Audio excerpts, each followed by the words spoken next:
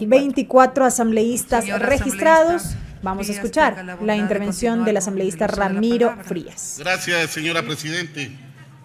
Antes de iniciar con mi intervención, quiero expresar un saludo fraterno a las mujeres de mi país y del mundo entero, que son ejemplo de lucha constante, de reivindicación de derechos, justicia y equidad. La Comisión de Educación, Cultura, Ciencia, Tecnología, Innovación y Saberes Ancestrales, dando cumplimiento a la sentencia de la Corte Constitucional en lo referente al tratamiento de la ley orgánica de educación intercultural, ha escuchado la postura de los criterios del magisterio, analistas económicos y funcionarios del Ministerio de Economía y Finanzas, ante lo cual se exige que el Pleno de esta Asamblea Nacional se pronuncie de manera urgente. Colegas asambleístas, recordemos lo sucedido en la pandemia. Ha sido un golpe muy fuerte para todos los sectores de nuestro país, en especial para nuestros maestros.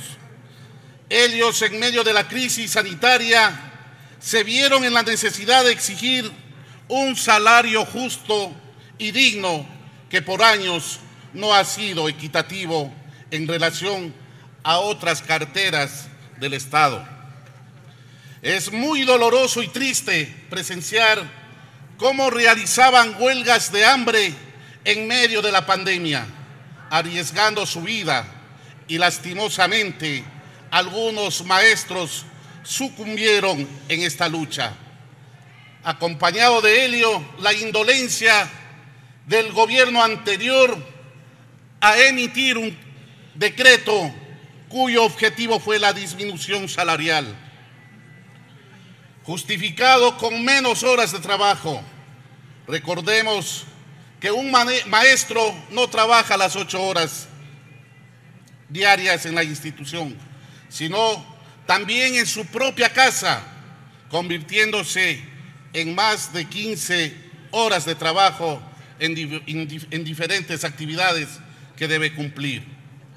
Según los informes estimados por el Ministerio de Economía y Finanzas a la Comisión, establece que no existe presupuesto alguno para el nuevo escalafón, que alcanza un incremento de 2.175 millones de dólares porque no se puede identificar ingresos adicionales que cubran este valor.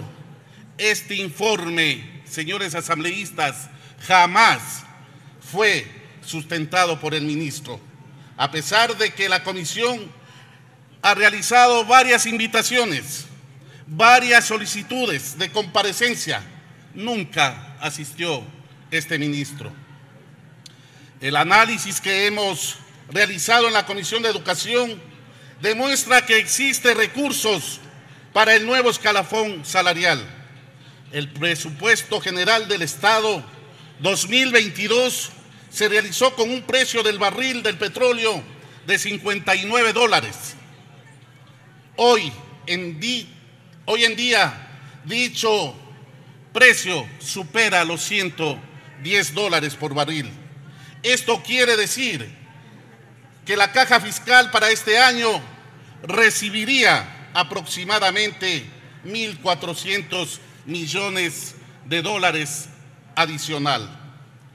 La reciente reforma tributaria que pasó por el Ministerio de la Ley permitirá un incremento fiscal de aproximadamente 800 millones en este año. Si sumamos estos dos valores, la caja fiscal recibiría aproximadamente 2.200 millones adicionales, rubro que cubriría el nuevo escalafón del docente.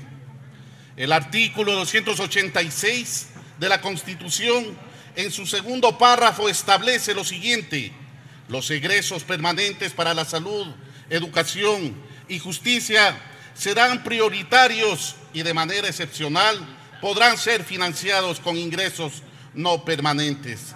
Este artículo define la regla fiscal cuyo objetivo es el de garantizar el financiamiento de las políticas públicas de acuerdo a lo establecido en el artículo 85 de la Constitución.